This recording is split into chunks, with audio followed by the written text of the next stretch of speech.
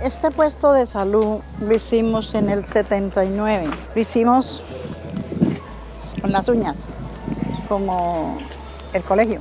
Y desde ese tiempo, aquí nunca, por ahí, pinturito.